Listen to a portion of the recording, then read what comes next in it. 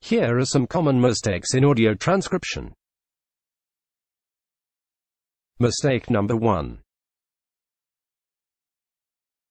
User uploads of audio or video file.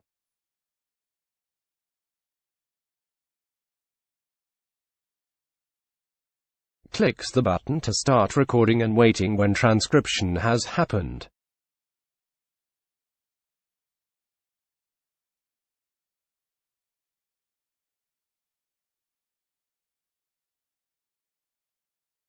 But transcription will not start automatically. The audio should be fed to input from the output of the player. It could be done in several ways.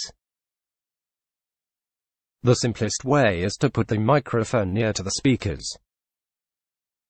The second way is use audio cable software as stereo mixer. Stereo mixer is preferable. If you look at the settings in audio recording devices you may see stereo mixer here.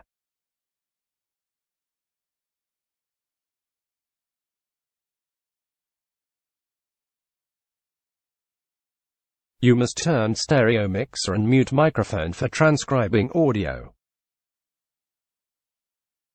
Mistake number 2. The second common mistake is trying to transcribe not in the Chrome browser.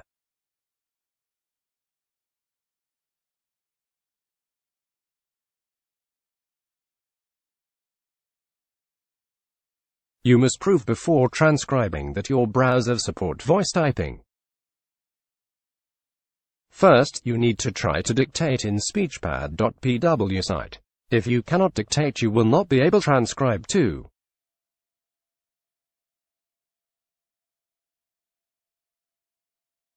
It could be difficult if you don't have the mic. But if you have the mic first try to dictate and see if it works. Second, what if you do not have a mic and there is no audio card? If you do not have audio card, you'll not be able to transcribe neither with a stereo mixer nor with a virtual cable. So make sure you are able to use Voice Notepad.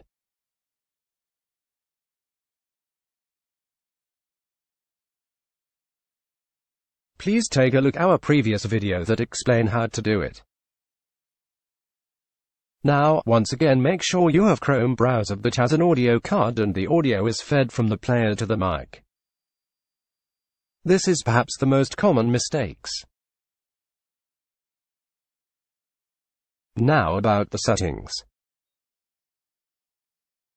The most important setting with the transcription is a noise protection setting. Google has some bug with continuous recognition. Sometimes it freezes. In dictation mode recognition is resumed automatically when the text is copied to the output field. It is defined by the number of symbols before restart switch. In transcribing mode recognition may freeze if audio has too much noise, and transcription stops. Use the noise protection refresh as the recognition process after the chosen time interval. In this case, number of symbols before restart setting will not be so important. You can set it around 70 characters. These settings will allow you to transcribe almost any audio.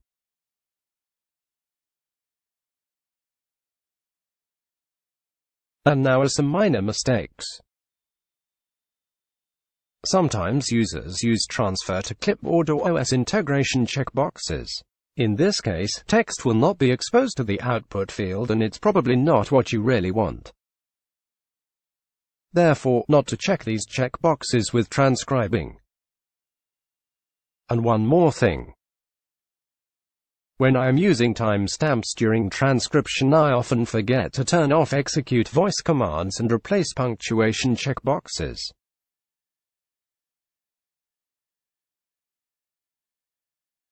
So, when in text will appear some voice commands, back command for example, the part of timestamps can be erased.